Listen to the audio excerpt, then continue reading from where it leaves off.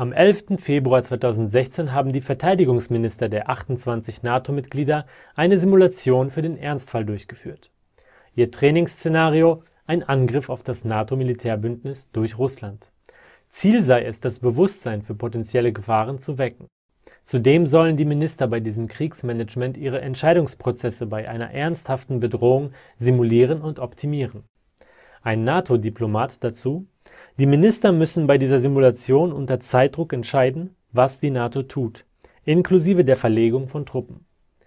Bereits im vergangenen Jahr hatten zwei dieser Simulationen stattgefunden, jeweils unbemerkt von der Öffentlichkeit.